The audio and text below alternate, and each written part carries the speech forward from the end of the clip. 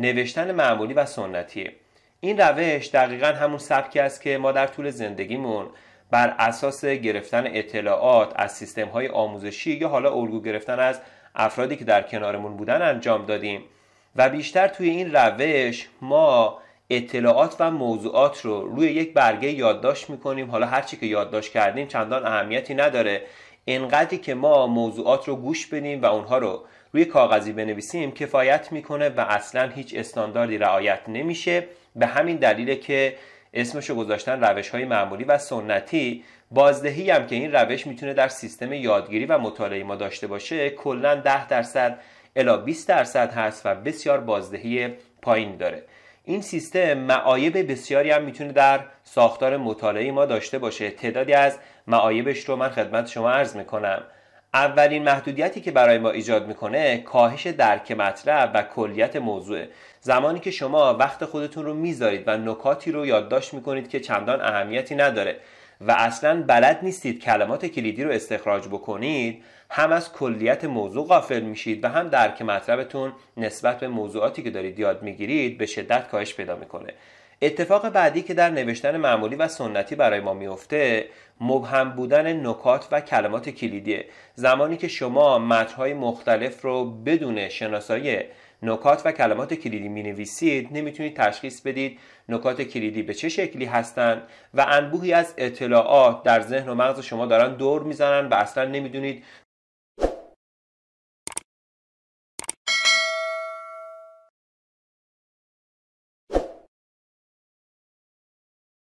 کدوم رو به یادتون بیارید و کلی درگیری و ابهام در سیستم ذهنی شما ایجاد شده.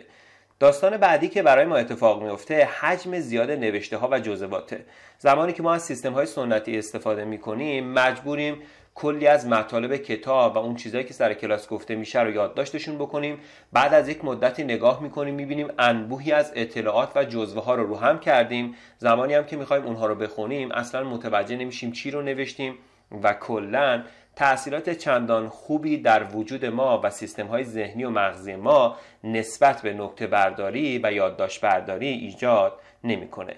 عیب بعدی که این سیستم برای ما داره کاهش عملکردهای حافظه است. عملکردهای حافظه چی بود؟ ما اطلاعات رو دریافتشون می‌کردیم، کدگذاریشون می‌کردیم، بعد ذخیره و ثبت انجام می‌شد و دوباره در آخرین گام ما بازیابی و یادآوری اطلاعات رو داشتیم.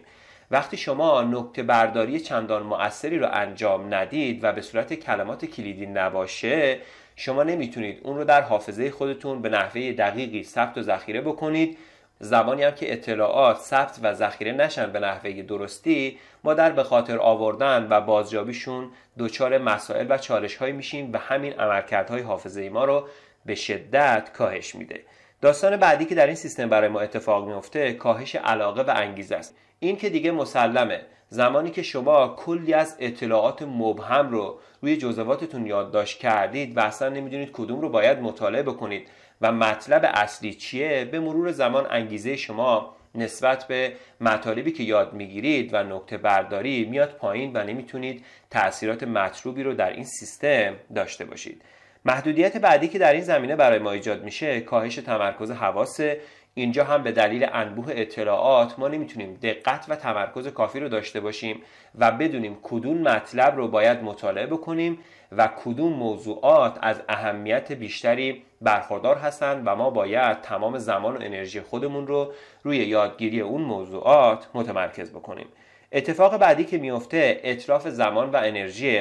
هر چقدر که شما زمان بذارید و نکات بیشتری رو بنویسید یعنی بدون استخراج نکات کلیدی فقط بخواید جملات رو روی برگه ها یادداشت بکنید و خودتون رو متوجه نشید چی رو نوشتید زمان و انرژی شما در طول کلاسی که حالا دارید یادداشت برداری می‌کنید یا زمانی که دارید کتابی رو مطالعه می‌کنید به طور کلی به هدر میره. و همینها باعث میشن انگیزه شما علاقه شما و کلی از فرایندهای مطالعه شما تحت تاثیر قرار بگیرن و کاهش پیدا بکنن.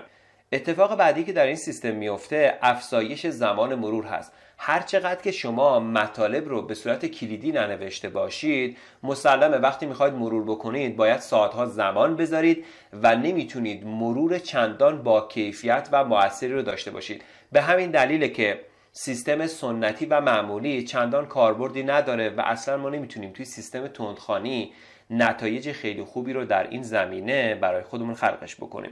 آخرین اتفاقی که در این سیستم برای ما میفته کاهش خلاقیت. شما چون دارید فقط مطالب رو گوش می‌دید و اونها رو می‌نویسید هیچ خلاقیتی ندارید و اگر ما در مسیر تندخوانی و مطالعه مغزمون خلاق نباشه به هیچ عنوان نمی‌تونیم نتایج خیلی خوبی رو در مسیری که داریم کسبش بکنیم. ممکنه که حالا محدودیت ها و عیب های دیگه هم این سیستم داشته باشه. خودتون می‌تونید تحقیق بکنید ببینید به چه شکلیه. اینها کلا موضوعات مهمتری بودن که در سیستم معمولی و سنتی برای ما ایجاد می شدن. روش بعدی که ما یادداشت برداری رو انجام میدیم خط کشیدن زیر نکاته. در این روش شما نکاتی که دارید مطالعه می کنید رو یا کتابی که دارید می خونید رو خط می کشید خوبه ها ولی چندان تاثیر مطلوبی نداره و کلا بازدهی که می‌تونه برای شما داشته باشه حدودا سی درصده بیشتر نمی‌تونه بازدهی داشته باشه و چندان موثر نیست. سومین روش یادداشت برداری نوشتن نکات کلیدی هست. اینم بهتون یاد دادم در جلسات قبلی و گفتم چطور نکات کلیدی رو استخراجش بکنید یا عبارتهای کلیدی رو استخراجش بکنید. این مرحله فقط به نوشتن نکات کلیدی اشاره داره. یعنی ما نکات کلیدی رو استخراج می‌کنیم و یه جا یادداشتشون می‌کنیم. هیچ کاری دیگه انجام نمیدیم. پس نوشتن نکات کلیدی روش بعدی بود و کلا بازدهی که این سیستم برای ما داره حدودا 40 تا 50 درصد هست. خیلی خیلی کمه ها. زیاد نمی‌تونه تاثیر چندانی بذاره. اگر ما فقط نکات کلیدی رو شناسایی بکنیم دقت بکنید من نمیگم نکات کلیدی خوب نیست و بازدهیش کم هستا میگم نکات کلیدی رو اگر فقط استخراج کنید و یه جا بنویسید می‌تونه بین 40 تا 50 درصد بازدهی در مطالعه ما داشته باشه. چهارمین روشی که ما یادداشت برداری رو انجام میدیم طبقه بندی و نمودار هست. در این روش ما مطالبی که مطالعه می‌کنیم رو یه جا جداشون می‌کنیم و مطلبهای مهم رو در رأس یک نمودار قرار میدیم. شاید نمودارهای درختی رو دیده باشید. مثلا یک فردی موضوع مهم رو در بالا قرار میده بعد چند تا شاخه براش می‌کشه و تمام موضوعات زیر مجموعه رو در شاخه ها می‌نویسه. به این روش میگن طبقه بندی کردن و استفاده از نمودار. این روش هم می‌تونه اگر به نحوه درستی انجام بشه حدودا 50 درصد بازدهی در سیستم های مطالعه ما به جا بذاره. روش بعدی که برای یادداشت برداری استفاده میشه highlight کردن هست. شما با highlight کردن متن‌های مختلف کمک می‌کنید که یادداشت برداری رو انجام بدید. این هم نمی‌تونه چندان موثر باشه. ممکنه که حالا 20 تا 30 درصد بازدهی مطالعه شما رو افزایش بده. چندان موثر نیست. حالا اگر چیزی در دستتون نبود خیلی بهتر از هیچی هست و می‌تونید نکات کلیدی رو با استفاده از یک ماژیک خیلی راحت هایلایتش بکنید تا بدونید به چه شکلیه. ولی در کار چندان بازده موثری نمی‌تونه در سیستم تندخانی ما داشته باشه. من الان فقط دارم این دلایل رو برای شما باز می‌کنم. اگر می‌بینید توضیحات بیشتری رو نمیدم نیاز نداریم. ما فقط می‌خوایم بدونیم چه روش های وجود داره و شما الان دارید مبتنی بر کدوم سیستم ها کار می‌کنید. این سیستم ها چقدر بازدهی و اثر توی زندگی شما و مطالعتون دارن و ما باید از کدوم سیستم استفاده بکنیم؟ وقتی به انتهای موضوعات رسیدیم من خدمتتون میگم از بین روش هایی که مطرح شد بهترین روش کدوم هست و قرار ما کدوم روش رو یاد بگیریم. ششمین روش یادداشت برداری خلاصه نویسی هست. در خلاصه نویسی ما نکات و کلمات کلیدی رو به صورت خلاصه می نویسیم اگر شما در خلاصه نویسیتون نکات کلیدی رو استخراج بکنید و اونها رو روی یک برگه یادداشتش بکنید این می‌تونه برای شما حدودا 50 درصد بازدهی در سیستم مطالعه داشته باشه و خیلی بهتر از هیچی است. تا اگر شما نکات کلیدی رو به صورت خلاصه یادداشتشون بکنید در یه جایی و هر زمان که بهشون نیاز داشتید می‌تونید نکات کلیدی خلاصه شده رو یه مروری بکنید و تمام اطلاعات برای شما بازجابی بشه. روش بعدی که می‌تونیم استفاده بکنیم حاشیه نویسیه.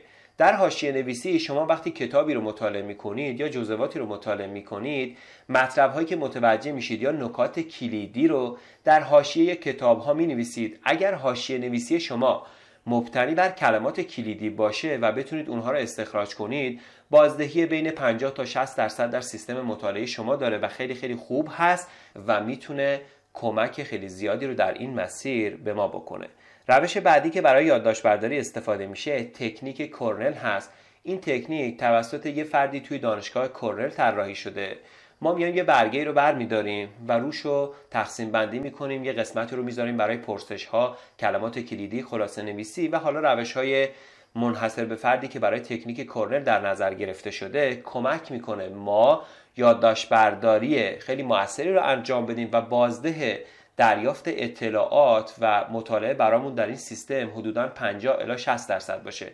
من در رابطه با تکنیک کورنل بیشتر توضیح نمیدم. خودتون اگر می‌خواید روش دقیق تکنیک کورنل رو یاد بگیرید و ببینید در سیستم یادداشت برداری چطوری می‌تونید ازش استفاده بکنید حتما به سایت های مختلف سر بزنید. در سایت های بسیاری من دیدم این روش رو به نحوه خیلی دقیقی توضیح دادن. من اگر توضیحی نمیدم چون باهاش کار نداریم فقط می‌خوایم معرفی بکنیم و هدف اصلی ما برای یادداشت برداری کلا موضوع دیگه ای هست و می‌خوایم تمرکز خودمون رو بر روی موضوعی که قراره برای یادداشت برداری استفاده بکنیم قرارش بدیم. روش بعدی که کمک می‌کنه ما یادداشت برداری رو انجام بدیم جدول بندیه در سیستم جدول بندی ما تمام نکات کتاب ها رو استخراجشون می‌کنیم و در جدول هایی به صورت سطری و ستونی قرار میدیم. به عنوان مثال شما جدولی رو می‌کشید 10 تا ستون و سطر رو براش قرار می‌دید. کلمات و نکات مهم رو در سطرها و ستونهای اولی می نویسید و تمام زیر مجموعه ها رو در ستونهای بعدی یادداشت می‌کنید. این داستان خیلی خیلی ساده هست. شما در جاهای مختلفی می‌تونید یادداشت برداری به روش جدول رو ببینید. حالا مطالبی که در قالب جدول های مختلفی به شما ارائه میشن دقیقا بر اساس همین سیستم تعریف شدن و شما توی نکته برداری و یادداشت برداری خودتون می‌تونید یه جدولی رو بکشید. نکات مهم رو در سطرهای اولی یا ستونهای اولی یادداشت بکنید. و تمام زیر مجموعه ها رو در مربع ها و مستطیل هایی که توی اون جدول هست یادداشتش بکنید و از این طریق بازدهی مطالعه خودتون رو و بازدهی یادداشت برداریتون رو افزایش بدید. کلا هم این سیستم جدول بندی اگر به نحوه درستی انجام بشه می‌تونه 50 تا 60 درصد بازدهی خیلی خوبی رو برای ما داشته باشه. آخرین روشی که ما استفاده می‌کنیم برای یادداشت برداری نقشه ذهنی است. نقشه ذهنی یکی از بهترین روش هایی هست که توسط آقای تونی بوزان برای یادداشت برداری و نکته برداری طراحی شده. روشی هم که قراره در این دوره ما با هم دیگه کار بکنیم نقشه برداری ذهنیه. در جلسه بعدی من فرایند طراحی نقشه های ذهنی یا اصطلاحا مایند مپ ها رو خدمت شما میگم. به چه شکلیه اصول و قواعد طراحی نقشه های ذهنی استاندارد رو میگم. چون نقشه ذهنی کمک می‌کنه ما مطالب رو به صورت کلیدی و خلاصه شده در قالب تصاویر، ابعاد و شکل‌های مختلفی طراحی بکنیم و خیلی راحت هر زمان که به مطالب نیاز داشتیم با یه مرور کوچیک در زمان بسیار بسیار کم تمام اون مطالب برای سیستم های ذهنی و مغزی ما بازیابی بشن و بتونیم بهترین استفاده رو داشته باشیم. پس اون روشی که ما برای یادداشت برداری در سیستم تندخانی بهش احتیاج داریم مایند مپ یا نقشه ذهنی در این جلسه من توضیحاتی رو در رابطه با نقشه ذهنی دادم. در جلسه بعدی به صورت خیلی خیلی مفصلی به بحث نقشه ذهنی می‌پردازیم. با هم نقشه های مختلف رو طراحی می‌کنیم و یاد می‌گیریم در سیستم تندخانی و نکته برداری خودمون چطور از نقشه های ذهنی به بهترین نحو استفاده بکنیم و نتایج فوق العاده رو برای خودمون خلقش بکنیم. چون قراره در جلسه بعدی من بحث مایند مپ رو برای شما باز بکنم می‌خوام در این جلسه یه تمرین خیلی خیلی ساده رو انجامش بدیم تا زمینه ذهن شما برای کشیدن نقشه های ذهنی خیلی پیشرفته در جلسه بعدی آماده بشه. برای انجام این تمرین می‌خوام یک برگه رو کنار دستتون قرار بدید یه صفحه کاغذی که کاملا سفید باشه. زمانی که اون برگه رو آماده کردید می‌خوام یک کلمه ای که به ذهنتون میاد و حالا یک کلمه ای که دوست دارید رو در مرکز اون صفحه با قلم یا خودکارتون یادداشت بکنید. الان این کار رو انجام بدید حتما این تمرین رو انجام بدید. من خودم کلمه تغییر رو انتخاب کردم. شما حالا هر کلمه که دوست دارید در زمین های متفاوتی می‌تونید در مرکز برگه که انتخاب کردید بنویسیدش. زمانی که کلمه خودتون رو مشخص کردید و در مرکز نوشتید ازتون می‌خوام در اطراف اون کلمه شش تا شاخه رو به این شکلی که توی تصویر می‌بینید بکشید با خودکار یا قلمتون. شاخه رو الان بکشید و کار بعدی که می‌خوام انجام بدید فکر کنید در رابطه با لغتی که نوشتید شش تا لغت دیگه در خطها و شاخه‌هایی که مشخص کردید قرار بدید. به تصویر نگاه بکنید. من زمانی که به کلمه تغییر فکر می‌کنم لغاتی مثل خدا، آرامش، عشق، ثروت، لذت و آزادی به ذهنم میاد. شما هم ببینید چه لغتی رو نوشتید. زمانی که به اون لغت فکر می‌کنید ببینید چه لغاتی برای شما تداعی و بازیابی میشن. همون لغات رو بنویسید. این تمرین خیلی خیلی ساده است. هر کجا هم نیاز داشتید فایل رو نگه دارید می‌تونید فایل رو نگه دارید. تمام کلمات خودتون رو یادداشت بکنید و برید سراغ ادامه تمرین. زمانی که کلمات مرتبط رو نوشتید ازتون می‌خوام روبروی هر کلمه دوباره سه تا شاخه قرار بدید. می‌تونه تعداد شاخه ها بیشتر باشه و دوباره در رابطه با کلمه‌ای که قرار داده بودید سه تا کلمه مرتبطی که به ذهنتون میاد رو بنویسید. به عنوان مثال من کلمه خدا رو می‌تونم روبروش رو بنویسم. ایمان قدرت و شجاعت یا حالا هر چیز دیگه که به ذهنم میاد و در رابطه با کلمات مختلفم به همین شکله. شما اگر الان تمرین رو انجام ندادید و دارید جلسه رو گوش می‌دید زمانی که جلسه تمام شد حتما یک کلمه رو بنویسید و سعی کنید این تمرین رو انجام بدید تا ذهن شما برای کشیدن نقشه های ذهنی در جلسه آینده آماده بشه. تمرین بعدی که در همین زمینه می‌خوایم انجام بدیم این بار می‌خوام یه برگه سفید رو آماده بکنید و در مرکز اون برگه یه تصویری رو به دلخواه خودتون با قلم یا خودکارتون بکشید. حالا نمی‌خواد چندان نقاشیتون خیلی خیلی خوب باشه و یه تصویر خیلی فوق العاده رو بکشید. همین که چهار تا خط رو بکشید و مفهوم اون چیزی که در ذهنتون هست رو تدایی بکنه در همین مرحله کفایت می‌کنه. نمی‌خواد زیاد وسواس به خرج بدید. دوستان همینقدر که شما یه تصویری رو بکشید برای این تمرین کفایت می‌کنه.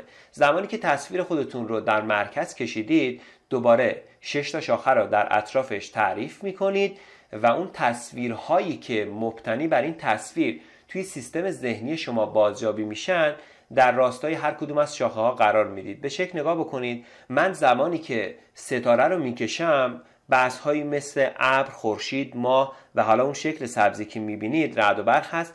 قلبی هم که اون بالا کشیده شده به این معنیه که من وقتی ستاره رو می‌کشم اون فردی که دوستش دارم برام بازجابی میشه یا اون شکل پایینی که سر آدمک هست عکس خودمه. چون زمانی که من به ستاره فکر می‌کنم بسیار بسیار خوشحال میشم. و یک لبخندی روی صورتم می نشینه به همین دلیله که اون عکس رو در اینجا قرارش دادم. اینها حالا مطالب بسیار ساده ای هست که شما می‌تونید انجام بدید. تصاویر خیلی ساده ای رو شروع بکنید برای انجام این تمرین.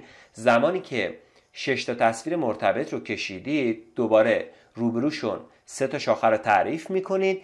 و طبق تصویری که کشیدید تصاویر جدیدی رو در انتهای اون شاخه ها قرارش می‌دید. به عنوان مثال من الان تصویر خورشید رو قرار دادم. زمانی که شما به خورشید فکر می‌کنید ببینید چه تصاویری برای شما بازیابی میشن. هر تصویری که براتون بازیابی میشه در شاخه هایی که قرار گرفته به راحت ترین شکل با قلم و خودکارتون نقاشی بکنید. می‌تونید از رنگ های مختلف هم استفاده بکنید تا ذهن شما آماده بشه و در جلسه بعدی بریم سراغ تمرین های بسیار فوقالعاده نقشه ذهنی و نقطه برداری خودمون رو به موثرترین شکل انجامش بدیم.